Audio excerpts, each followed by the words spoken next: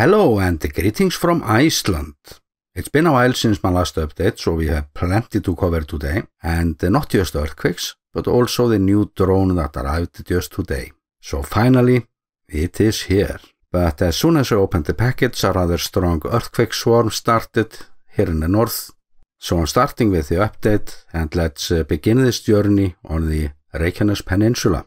But the general story is that uh, the seismic activity seems to be on the rise, and we can also see some unusual pulses on the tremor graph, especially by the southwest corner of the peninsula, or uh, where the next eruption might take place, a submarine eruption, although there are other possibilities, of course. And it is noticeable that the South Iceland fracture zone is shaking as well. And uh, let's move to Katla volcano. Things have been strange uh, there recently, Seismic unrest has been on the rise for the last two months, but uh, not enough to make me go packing. And uh, gas pollution above the health protection limit has been detected near this river, Múlakvísl. It's a river that flows from under the glacier above the volcano Katla. However, the electrical conductivity in the water is not uh, unusually high now, but it indicates the concentration of charged materials and chemicals in the water, or that can in some cases explain what's going on under the glacier. But this uh, gas pollution was uh, detected Thursday morning last week. And uh, last Friday we got the news that a dam had broken, but uh, it's not serious though. It's just a little barrier and there are no reports of uh, floods in the river. At least nothing that the warning system detected. So this is a bit odd and uh, I'm leaving a link to the river monitors so you can check them out if the earthquakes continue. But like usual, this might not mean anything.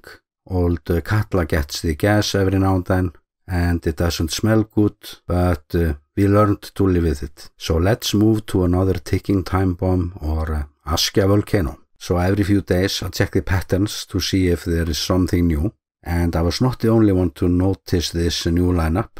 It's the classical uh, Fisher Swarm direction between uh, Askja and Mount Herðbreið where most of the earthquakes been this winter. So I did get a mail from one of my fine subscribers in the USA saying that this looks like a magma intrusion and it is actually good that this uh, question came up now since I know that uh, many of you are thinking about to come to Iceland or uh, when we get the next eruption and I'm here not just to warm you up but uh, also to cool you down and this new earthquake pattern it definitely looks like something new and the tremor chart was also uh, showing some abnormalities. And since you know how huge sack of magma is under there this is uh, very likely magma on the move. And if there is indeed an eruption on the way this is the worst possible timing.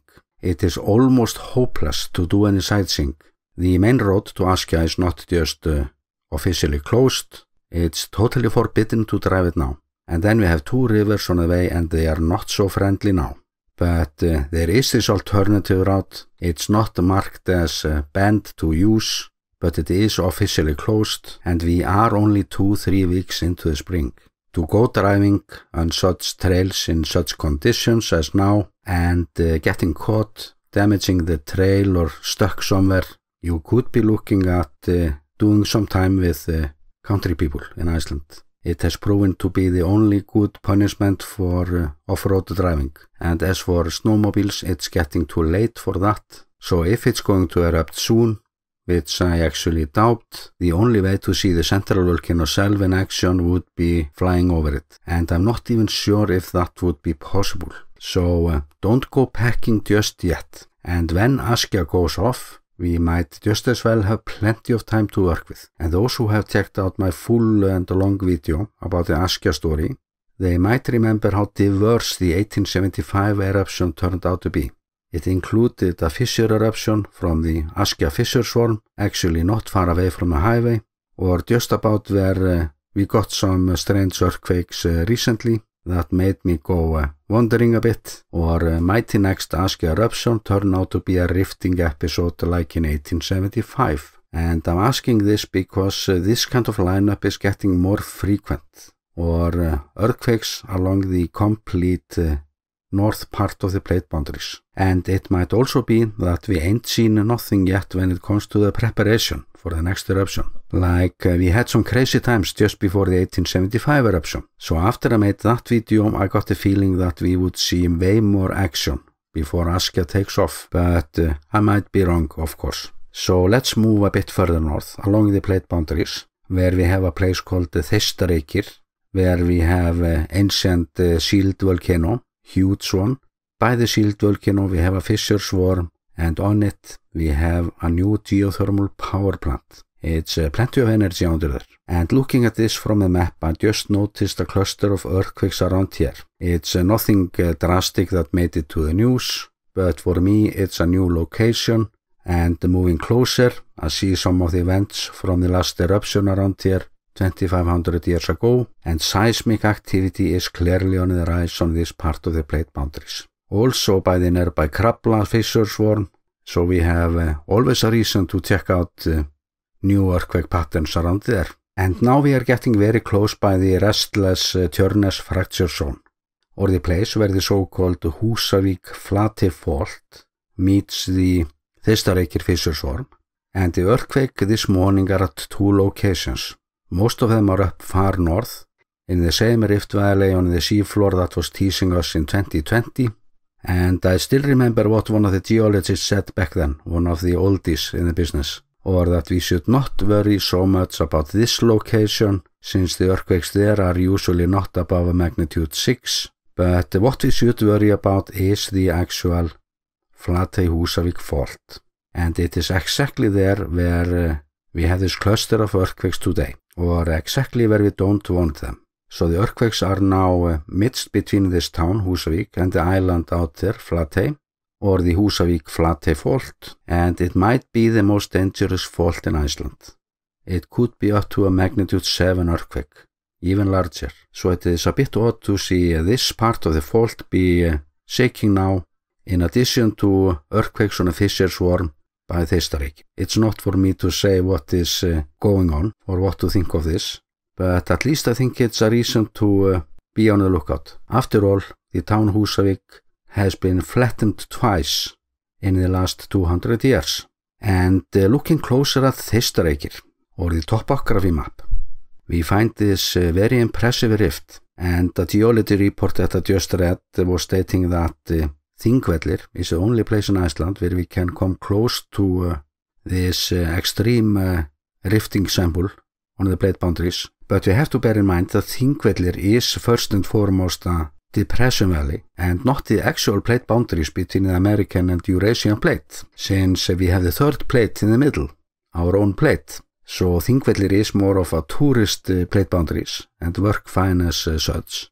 But this extreme part of the plate boundaries, I have to check them out uh, this summer.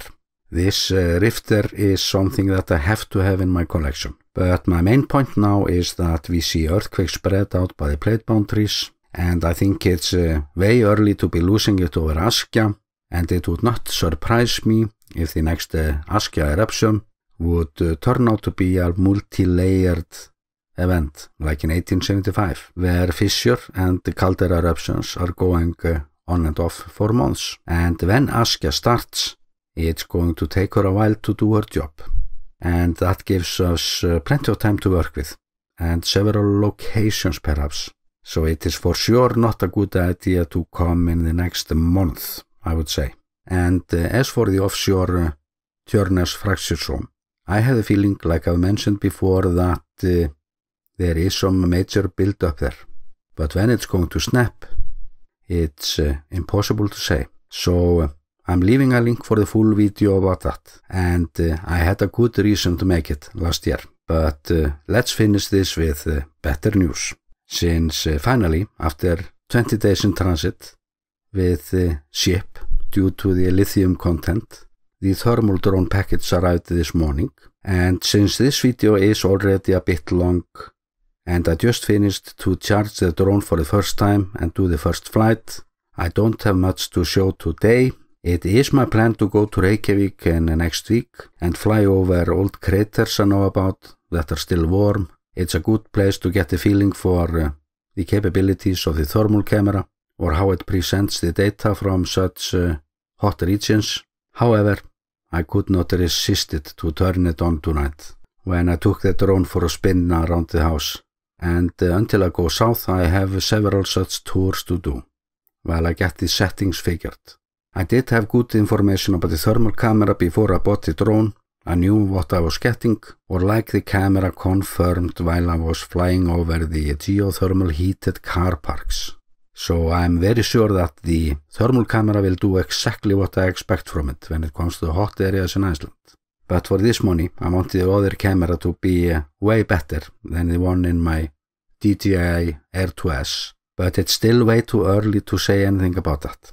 I just finished the maiden voyage and uh, landed with a list of settings that I need to change from the default setup. And since it's going to be a few days until I go to Reykjavik, I will be doing the first tests here in the north. And I will be uploading the results of course and uh, feel free to come up with ideas. Or what do you want to see from a thermal drone camera? And uh, I am very sure that uh, many of my subscribers are just as curious as me, especially when it comes to the hot regions. And uh, after I shared my vision in this uh, community around my channel, I found out that uh, there were so many of you that shared this uh, vision with me. And it would have been impossible to get this drone without your help. So again, thank you from the bottom of my heart. And uh, I hope that we will all have a good time using this uh, extremely good technology to scan one of the hottest countries in the world and add a whole new dimension to my channel, like to go chasing magma intrusions. And what would this drone have seen last year before the eruption came up? Was it uh, possible to detect the magma intrusion before it came up? And how long before it came up? So this thing is not here to collect dust, and I will use the next days to do some tests, get a feel for the drone and the settings, and of course listen to your ideas. What do you want to see with a thermal drone, if you have any ideas? Because uh, I'm all for experiments, and the first official thermal video will be online in just uh, one or two days. And with that, I'm sending you best regards from the volcano island, Iceland.